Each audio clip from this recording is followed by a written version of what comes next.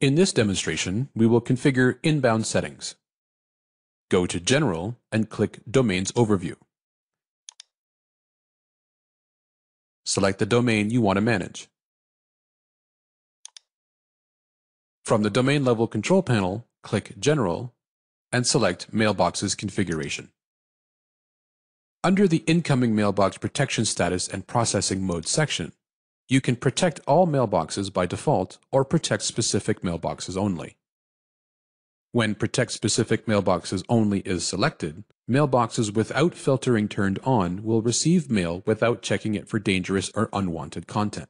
In this example, we will select Protect All Mailboxes by default.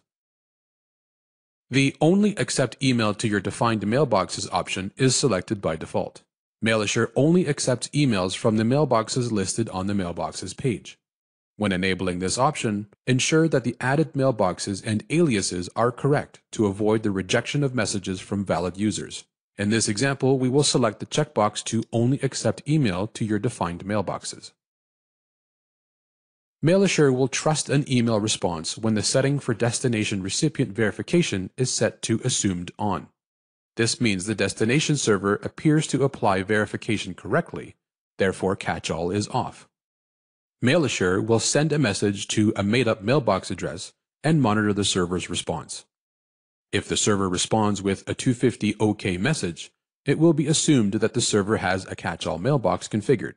It is recommended to change this behavior and select the checkbox to only accept email to your defined mailboxes. Click Save Settings.